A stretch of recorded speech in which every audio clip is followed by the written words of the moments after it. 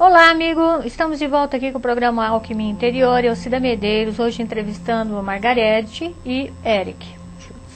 E lembrando que a Margarete também tem um seu nome iniciático, que é Devi, Devidássica. Devidássica, É. que ela é do Instituto de Cultura Hindu Naradeva Chala, Chala, né? isso. Então nós estamos falando com pessoas especialistas e o Eric Schuss também é presidente do mesmo instituto, Isso, não é? diretor-geral. E diretor-geral e também faz parte, é vice-presidente da Associação Brasileira de Ayurveda, é secretário honorário para a cidade de São Paulo da Federação Internacional de Yoga, E assim vai. é, recebeu Esse em é o 2000 Tantra, tá vendo? É. É o Tantra. Olha quanta coisa que vai se juntando, vai unindo. Eu tenho essa carinha nova assim, mas na verdade eu tenho 85 anos. Vou agora falar na verdade, esse corpinho eu- é alugado. É alugado, né? Nossa, quando ele nasceu, Cida, Ah. é, foi muito interessante. Siri Vajra, que é o Isso é nosso mestre iniciador, né? Tava aqui no Brasil. É. E eu corri assim, pra mostrar o Eric pra ele, né? É. Tinha saído da maternidade, ele olhou e falou assim, Mirra, que dó! Um corpinho tão pequeno, uma alma tão velha. Como é que ele vai se aguentar? E é o próprio. Entendi, Ele é velho. entendi. Muito. Aí eu faço essa brincadeira. A minha esposa fala assim: ó, tem hora que eu olho pra você, parece um velhinho de 80 e poucos anos falando comigo. Aí eu fico brincando É, agora, ele é né? ranzinza, ele tem algumas coisas, acho que, que traz de memória acástica dele. Quer dizer, isso é espiritual, mas tá brincando aqui, né? Ele é ranzinza, ele, ele pega no pé das pessoas, É. né? muitas coisas. Bastante. Lá no instituto ele que fica, olha, olha, olha a postura, olha nos vai. Que legal, é muito bom isso. E a gente está hoje falando sobre o tema de Tantra e no intervalo a gente até apontou a questão da culpa, né? Como que é Isso. para o Ocidente. é, Porque na verdade a, a grande, a grande é, sacada, eu diria assim, é você para permanecer em santidade ou para permanecer, é, ser ciente, consciente, né? devidamente em paz com o seu espírito, com a sua própria consciência, a gente tem que alcançar um nível de entendimento, de compreensão e de autoconhecimento Sim. fundamental, Sim, né? sim. E um discernimento entre aquilo que nós temos de uma cultura ocidental que prega certos conceitos rígidos e saber onde é que está baseado o nosso sistema de crença. Onde é que a gente está. A gente está pensando baseado em que, em que, que lugar? Na católica cristã, no hinduísmo, no budismo? Aonde? Aonde está o seu pensamento, o seu julgamento de si mesmo? Então, falando sobre o tantrismo e sobre a cultura ocidental, sobre o tema de yoga, como é que é a questão da culpa? É, lá no, no, no, no Tantra não pode ter culpa, né? Não pode não, não tem. Isso é inadmissível, no yoga tampouco. Porque essa é uma coisa criada mais aqui para nós ocidentais, com a, com a nossa cultura, que fomos né, fundamentados no, no, no catolicismo, né? Que tem culpa, tem pecado, tem deveres, tem isso. Na realidade isso não existe, não existe céu, não existe inferno. Isso é uma criação da mente, que a partir do momento que você acredita, isso se forma no astral inferior. Isso vai acontecer na sua vida, não é?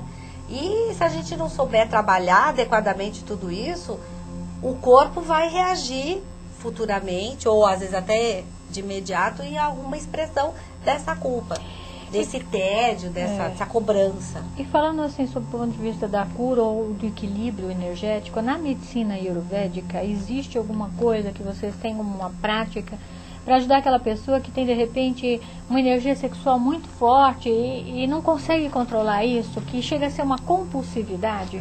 A, falando, na parte sexual, aí ela é, é o que a gente chama de desarmonia. Desarmonia de um dos elementos no corpo. Aí tem que analisar essa, essa desarmonia de qual elemento é e fazer um tratamento em cima disso. O tratamento pode incluir erva, alimentação, meditação, yoga, massagem, uma série de outros procedimentos.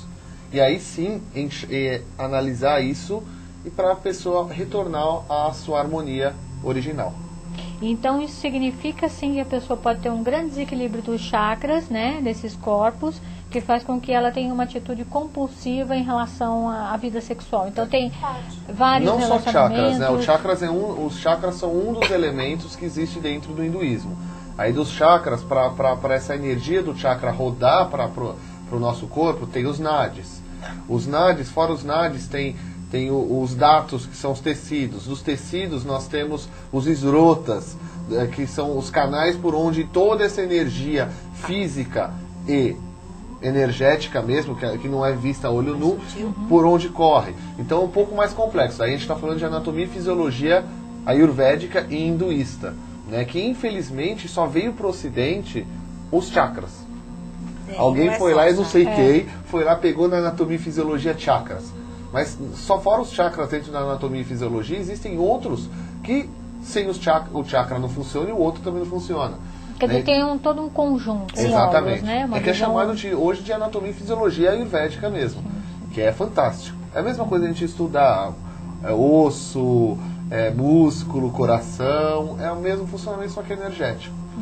Que é fantástico, é um trabalho E aí, maravilhoso. na prática de você já ocorreu de ter alguém que e peça ajuda por isso? Ah, ou- mas isso Normal. é muito comum. Comum. Muito. Tanto o contrário como É. o excesso como a escassez.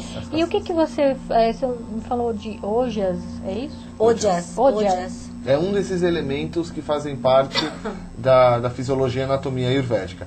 Ojas é o princípio único, é, puro, imutável e o, sutil, que transforma a energia do nosso organismo, que ela renova a energia do nosso organismo. Então, Ojas, ela é específica, ela é o elemento que faz a gente viver, o elemento que faz a gente sempre rejuvenescer. É ele que transforma as células no nosso organismo. Ele seria como se fosse um, o- aquele organismo, a, a fogueira. A fogueira ela está transformando. O fogo, ela trans, o fogo sempre se transforma. Ele é Shiva, que é o, é, ele destrói para recomeçar. Então, o Ojas é aquele elemento do nosso corpo que ele está sempre se trans, transformando tudo que, por onde ele passa. Para o quê? Ele, ele joga fora as células mortas, ele queima, Aquilo ele que destrói aquilo que presta não mais. presta mais e coloca coisa nova no lugar. Então ele está transformando. Então o Ojas é essencial para a gente ter uma vida saudável. Porque sem Ojas, o que, que vai acontecer? A gente vai ficar embotado. A gente começa a ficar mais devagar, a ganhar peso, a ficar com Fica excesso depressivo. depressivo. Que tudo isso quer dizer o quê? É o excesso de ama. Dogmático, mito, Que é- tudo vem da falta do Odias. Que aí começa a ficar o excesso de ama. Que é o to- a ama é toxina. Ensina. né? Então, não é, ah, não é ama de mãe. Isso é uma coisa que eu sempre gosto de deixar muito claro. Porque ama, com dois M's, significa mãe. Mãe, né? E É uma ama, parte devocional. isso é ama. Ama é mãe. Ama, é, tem uma pequena diferença aí. Ama, ama. Ama com dois M's é mãe, ama com M só é toxina. Por isso que eu falo, antes de a gente falar qualquer coisa em Santos, a gente tem que tomar muito cuidado, porque um simples ma, mã, você diferenciou mãe conceito, né? pra toxina, imagina, mãe toxina, chama minha mãe de toxina. Eu não ia gostar muito não. Mas veja, a- a- o Odias é fundamental. Ele vem sempre trabalhando com mais duas outras energias, que é, É. prana e tejas. Né? Prana é a vida, é o que nos sustém. E tejas é o discernimento. Você falou em discernimento, é Sim. exatamente a energia que trabalha a fluidez do discernimento, ou não. Então, sempre vai ter sequelas. A falta né, ou o excesso. Mesma coisa o Odias. O Odias é considerado a libido da vida. Sim. Mas não só sexual. A vontade de estar viva. a Nem tanto vontade, sexual, né? É, a vontade de, de, de criar, a criar, vontade né? de construir, a vontade de ser. Então, uma pessoa depressiva que entra no estado de depressão, estado de pânico, né, é falta de odias ou desequilíbrio. Esse- esse- aí a gente já começa a ter um- uma forma da gente estar detectando onde está o problema da pessoa, né? Ou o pano de fundo, vamos dizer assim.